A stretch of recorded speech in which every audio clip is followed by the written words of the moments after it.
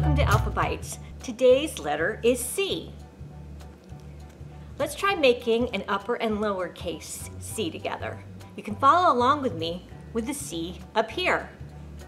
So you start over here and you go all the way around and stop. The lowercase c is similar, it's just smaller. Start here and go all the way around and stop. This is how you make the letter C in sign language. Cat begins with the letter C. Let's do a finger play about a cat. It goes like this.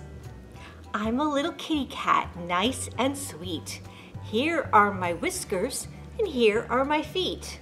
When I go out hunting, mice beware, or you might just have a scare. Parents, print awareness is a literacy skill you can help develop in your child. Uh, point out signs, labels, and logos as you go about your day. For example, a stop sign or McDonald's M. Talk about what the different signs represent to help make your child aware of words and symbols all around them. Our next letter is D.